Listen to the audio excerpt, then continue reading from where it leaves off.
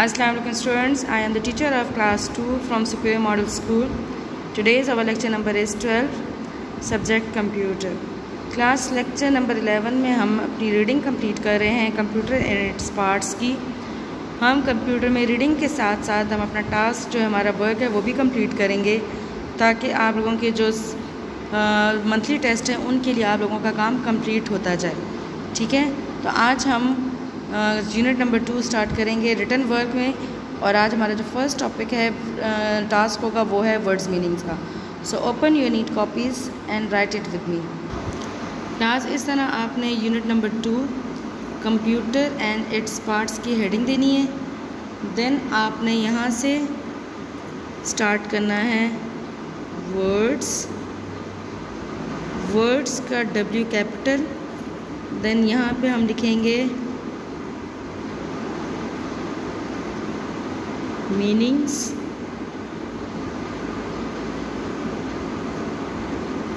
Meanings का भी M capital होएगा फुल फुल फॉर्म में यहाँ तक लाएँगे और इसी तरह डब्ल्यू को भी हम इस तरह फुल फॉर्म में लिखेंगे।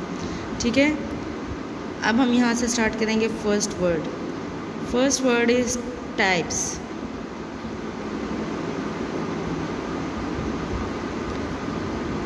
meaning is a category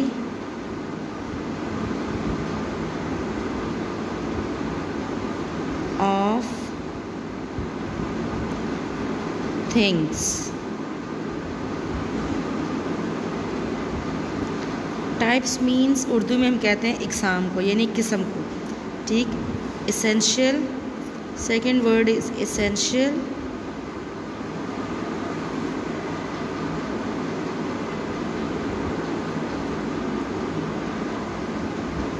meaning is important and the Urdu meaning is ज़रूरी।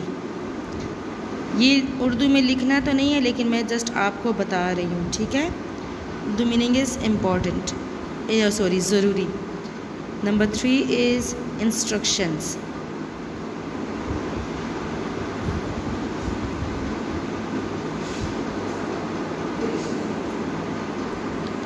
instructions and meaning is order.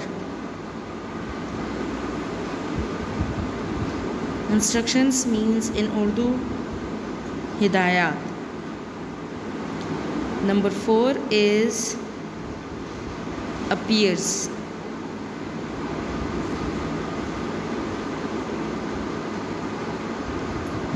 Means become visible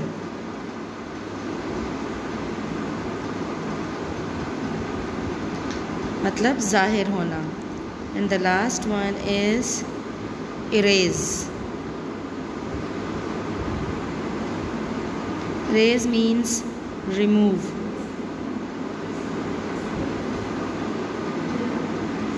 remove means मिटाना।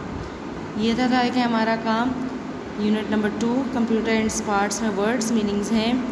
Types a category of things essential important instructions order appears become visible erase remove अब हम ending line draw करेंगे. Class इस तरह ending line draw करनी है और ये काम आपका बिल्कुल इसी तरह नीट और क्लीन होना चाहिए ओके अल्लाह हाफिज़.